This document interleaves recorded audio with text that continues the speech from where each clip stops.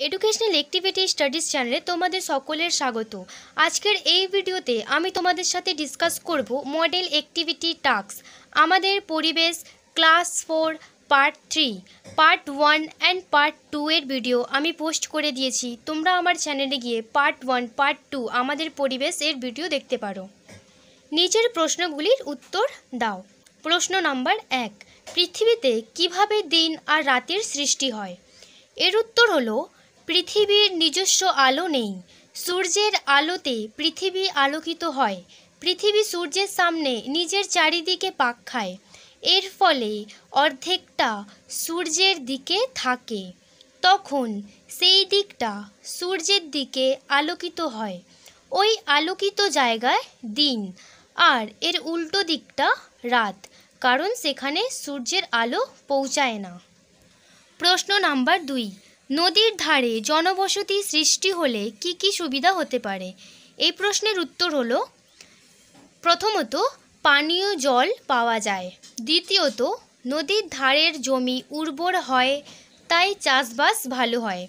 তৃতীয়ত, জমিতে জল দিতে সুবিধে হয়। চতুর্থ, মাছ পাওয়া যায়। পঞ্চমত, পশুপালন করলে জল ও ঘাসের জমি মেলে। ষষ্ঠতম জলপথে আসা যাওয়া ও ব্যবস্থা বাণিজ্য করা যায়। প্রশ্ন নাম্বার তিন।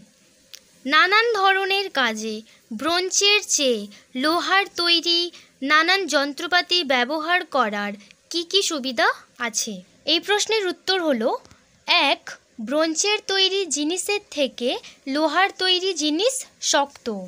দুই, লোহার জিনিস ব্রোঞ্চের জিনিসের চেয়ে অনেক ধারালো। তিন লোহার জিনিস মজবুত ও অনেক দিন ব্যবহার করা যায়। প্রশ্ন নাম্বার চার, তোমাকে দু রকমের অঞ্চলের কথা বলা হলো। এই দু রকম অঞ্চলে কি কি জীবিকা গড়ে উঠতে পারে তা লেখো। ক, নদী অথবা সমুদ্রের আশেপাশে। আর খ, চাষ জমির আশেপাশে। এই প্রশ্নের উত্তর হলো তাহলে বলেছে দুরকম অঞ্চলের কথা বলা হয়েছে। প্রথমত অঞ্চল হচ্ছে নদী অথবা সমুদ্রের আশেপাশের অঞ্চল, আর দ্বিতীয় অঞ্চল হচ্ছে চাষ জমির আশেপাশের অঞ্চল। তাহলে নদী অথবা সমুদ্রের আশেপাশে অঞ্চলের আমরা আগে বলছি। এই প্রশ্নের উত্তর হবে নদী অথবা সমুদ্রের আশেপাশে।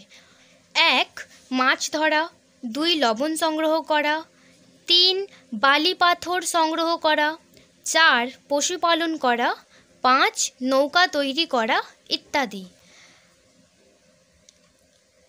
আর দ্বিতীয়ত হচ্ছে চাষ জমির আশেপাশে। চাষ জমির আশেপাশে অঞ্চলে কী কী জীবিকা আমরা গড়ে উঠতে পারি?